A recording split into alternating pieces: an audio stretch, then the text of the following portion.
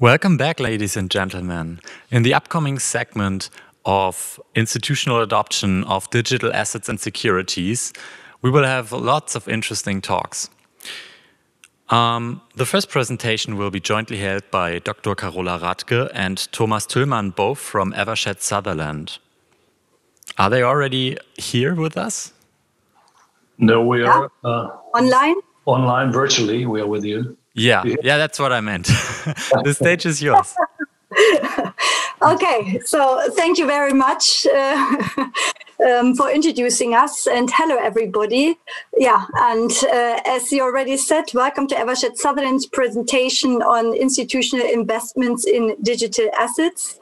My name is Carola Rathke. I'm heading the German banking and finance team. I'm sitting here together with my dear colleague Thomas Tüllmann, who is part of our digital assets team. And uh, we are both frequently working on crypto business related topics, in particular, uh, DLT related banking services and products. Today, we would like to introduce and share with you some of our some of the recent developments we see here in uh, this institutional investor segment. So uh, let's kick off and start with the first slide on uh, investors and target investments. So, what kind of institutional investors have you seen recently over the last, I would say, 12 to 18 months? So, we have seen a lot of institutional investors um, coming from the fund sector. Uh, we will do a deeper dive, in particular, in that segment, as we see currently a lot of movement uh, in this fund part, in the fund area. But of course, we also see institutional investors as asset managers, insurance companies, and pension schemes. Uh, the first two of them, funds and investment managers, are currently the most important part. Um, what kind of target investments do we see? Our target investments are, of course, direct investments in cryptocurrencies. Of course, not only direct investments, some of them are a bit more careful and do these kind of investments in cryptocurrencies uh, via ETFs or ETN, so kind of derivatives on these cryptocurrencies. And of course, we do see security token. And when we talk about security token, we do mean STOs in the sense we have seen them over the last two to three years. We don't talk about securities in the sense of MIFID II instruments. So we don't talk about shares, investment in shares, but still about STOs in the more classical sense, as it has been seen uh, as a starting point, meaning having claims against an issuer. So now we will do a bit deeper dive in the fund segment. As I have set out before already, we see a lot of movements um, in crypto funds or movements and interest of investors looking for investments in funds. So it of course started as crypto funds uh, in Germany, we have seen these registered management companies um, setting up funds. So these are alternative investment funds, the so-called AIFs, investing in cryptocurrencies as target investments. So these funds are still kind of unregulated, in particular, as these funds don't have any depositories. So in Germany, we talk about this investment triangle, meaning we have an investor here, an institutional investor. We have this uh, management company setting up an investment fund, and normally a depository. These funds don't have any depositories, so we call them as kind of regulated in a lighter sense. But recently, we have seen a lot of interest in the institutional sector setting up funds with a licensed management company and this management company um, is asked to invest in cryptocurrencies um, alongside with classical institutional or securities we see from former years.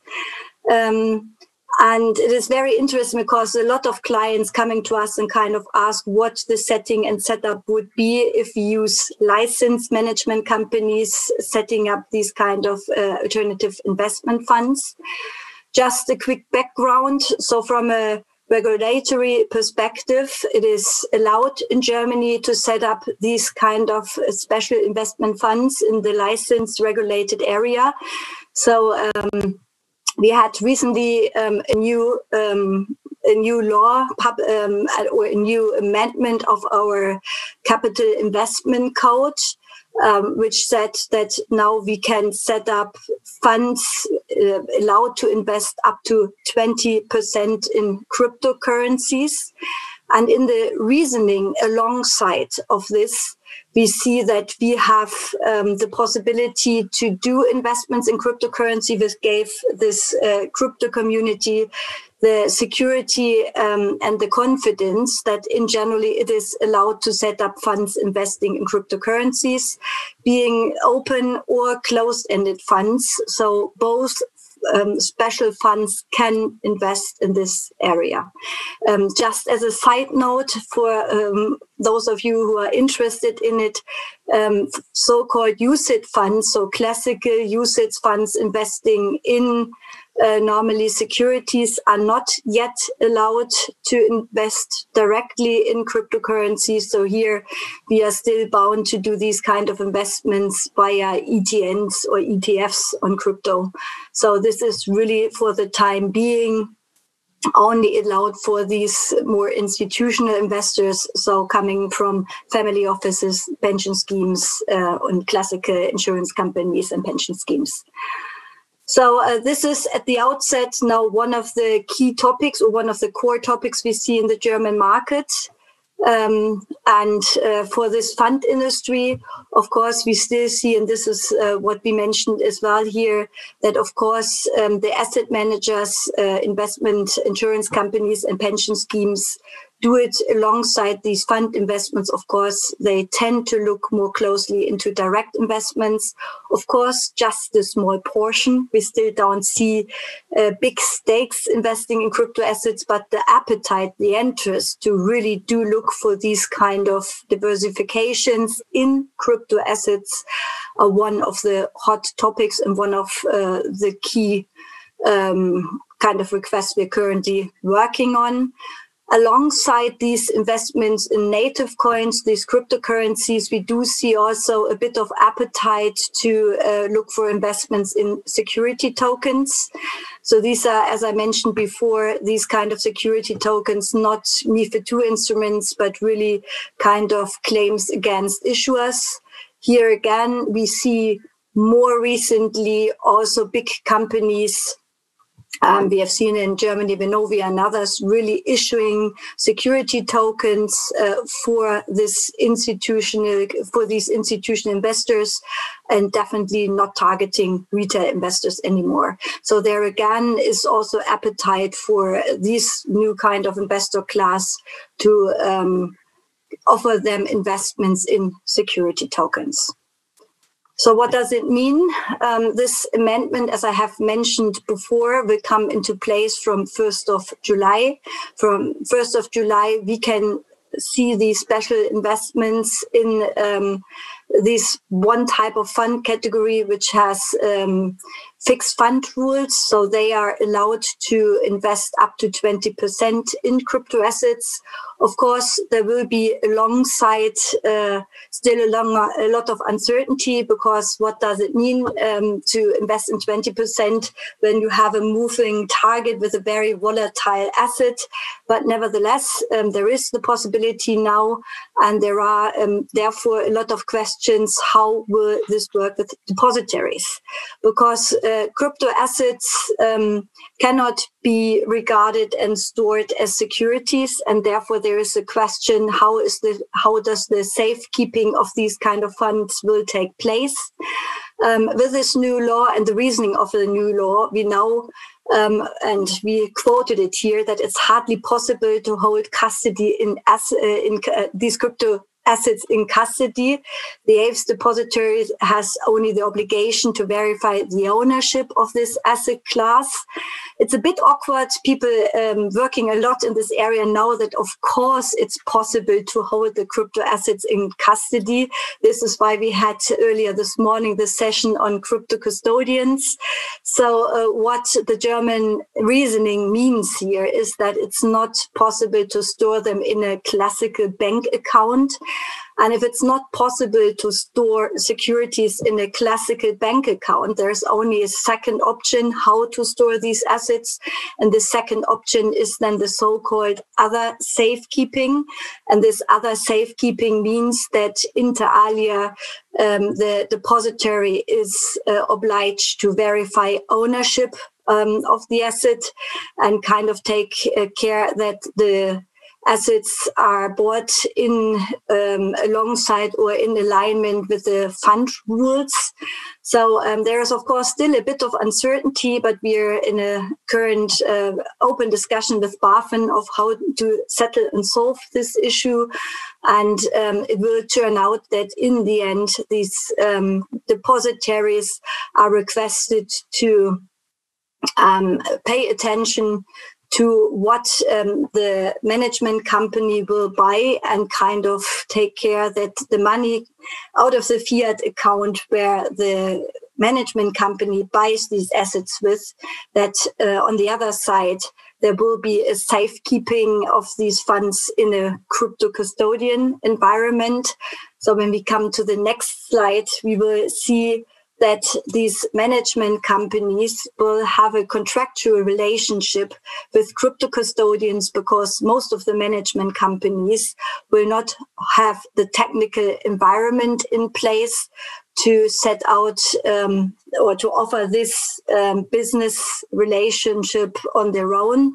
So they will look in um, for suitable crypto custodians taking care of it and enter into a crypto uh, into a contractual relationship with them and uh, then the task of the depository will be that these kind of buys and sells of crypto assets via then connected crypto exchanges will be safeguarded safely and that the kind of buy and sell movements on the one side, on the fiat side, and on the custodian side, on the storage side, on the other hand, is in alignment because really proof of ownership as we know cannot take place because when we talk about these kind of crypto assets we talk about virtual assets which of course are not eligible for ownership improvements in the in the classical context because as it's not a thing you can really um, you can really hold in your hands and it's not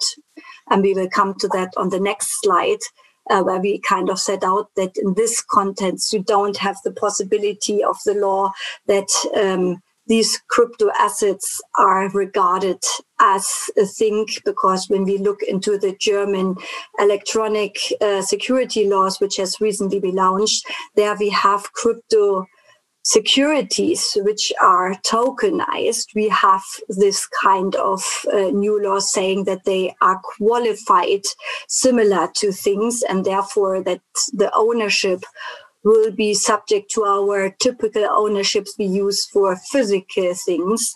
And this will not happen here. And therefore, the kind of um, regulations we will have to implement when it comes to the depository of crypto assets has to consider this special non-physical um, asset we have here in front of us. Um, I could continue for ages to talk about funds, but uh, as I'm conscious of time, I will of course now hand over to Thomas to give you some more insights on product providers and products. So Thomas, please. Thanks, Carola. Um, as one can imagine, that interest on the investor side uh, leads to movements on the product and product provider side. Um, we, uh, of course, don't want to give an exhaustive overview of all products and product providers that are on the market. Um, we just limit it to the crypto exchanges, the AIFs, and um, the banks or financial institutions, let's say. Um, there are a lot of other um, players on the market who react to the to the uh, interest that institutional investors currently show. Uh, this morning we've seen a presentation of EY. There was one slide. I think they, they had six or seven groups of uh, service providers around this space, crypto custodians, obviously, but also very important for institutional investors, uh, companies to deal with compliance issues, uh, provide solutions for compliance concerns. You all know that there are a number of com- compliance concerns in the market with regards to um, investments in crypto assets. and there are, as I said, already providers um, solving these issues. But we don't address these, we just limit it to the to the three groups we have here. what do we see on the on the crypto exchanges side? Um, classic crypto exchange where you can just exchange fiat against crypto or crypto against crypto. Uh, that is something, uh, of course, mainly for the for the um, retail market. When it comes to uh, to institutional investors, uh, you need other services, other products, and we see that crypto um, exchanges um, develop prime brokerage services.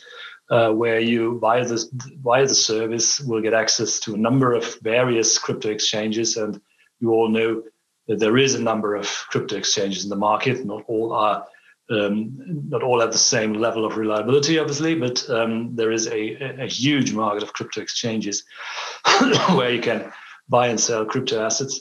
And uh, prime brokerage services would offer you um, the, the access to this full range. Of course, they will offer you um, or offer the customers um, alternative order products, not just the, the normal order, uh, the normal buy and sell order, but advanced orders, uh, complex order systems will be offered. Um, in the same range as this post-trading settlement, um, what we see that has to do, of course, with prime brokerage services where you can trade intraday and settlement will take place at the end of the day or uh, later the day, whatever you agree on. And um, this is as well part of prime brokerage services as um, a, single separate uh, offer sometimes to institutional investors. What we also see is developments in crypto lending and collateralization. that crypto lending becomes an issue is not such a surprise, I would say. Um, collateralization is, of course, an interesting um, aspect, in particular um, in combination with prime brokerage services, where you use the assets uh, that were bought uh, as a collateral. Um, that has a number of um, of items or, uh, or, or issues that that uh, require consideration, of course. Uh, one is the volatility, obviously, of the cryptocurrencies. The value of the collateralization changes constantly.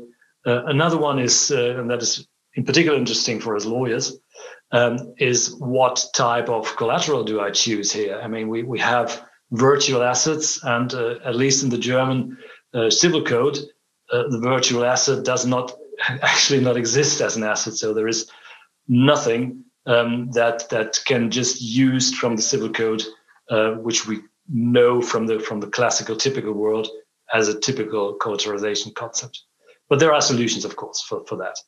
Um, then we see validation pools. So um, crypto exchanges try to use uh, the fact that they have a number of, of uh, cryptocurrencies in their wallets, and uh, they like to use that for validation. That is obviously mainly an issue for um, for proof of stake mechanisms, uh, where you can just concentrate a huge amount of cryptocurrencies in order to increase um, the chance that you are, or that node uh, under which these cryptocurrencies are pooled, uh, that this node is um, selected for uh, validation of transactions. That generates obviously additional proceeds, um, and that is a product that might be interesting for institutional investors as well, but also for retail investors. Whoops. On the uh, AIF side, I mean, we touched that already. The, the uh, AIF is obviously uh, on the investor side as well as on the product provider side. we see the crypto funds. Don't want to elaborate uh, on that any further. Carola did that already. Um, we see the, the classical, let's say, AIFs um, with this uh, 20% level uh, or threshold that Carola just referred to, um, using cryptocurrencies for further diversification. And that is, of course, an interesting product for a lot of institutional investors doing um, investments not directly but via crypto, uh, but, but via AIFs. Uh, with banks, we see not too much movement, to be honest. Um, direct investments, typically via crypto exchanges. The ETFs and ETNs are, of course, a product that is offered by banks and investments in security token. Uh, we have the impression that banks are a bit reluctant still to offer or create products uh, with regard to crypto assets. But nevertheless, um, they are interested in that. Definitely, they see that there is a market, that they, they see that there is interest.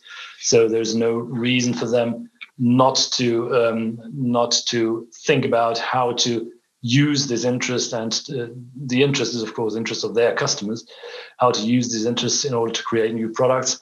But uh, as i said we see quite some reluctance still on in that in that area. Uh, i see we uh, have reached the time threshold. So the challenges regulatory challenges obviously civil law challenges. I just mentioned that with regard to collateralization for example. Tax law is always an issue as you can imagine. I don't want to go into details of that but uh, in conscious of time, I will now stop the presentation here. Thank you. Thank you. Thank the two of you, Dr. Carola Rathke and Thomas Tüllmann. And as Carola said, there is appetite for more.